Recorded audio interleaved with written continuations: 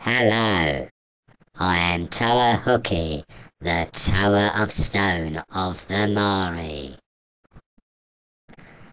I am going to show you my home, if you would like to see it. I think it's like paradise. My owner lives in a bedroom full of idiots dating back to 2004. We are showing you the fellow companions. First is Hahli, sometimes annoyed of the Vahki. And two bumbling idiots called Jaller and Kongu. Kongu does not like Jaller because he is jealous of his crab.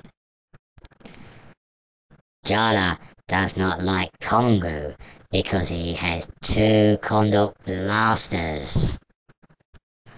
Matoro is annoyed with the Toa Hordika standing behind him. Nuparu is a bit of a show-off, and he has not made many friends because he shows off his big shield that none of the others have.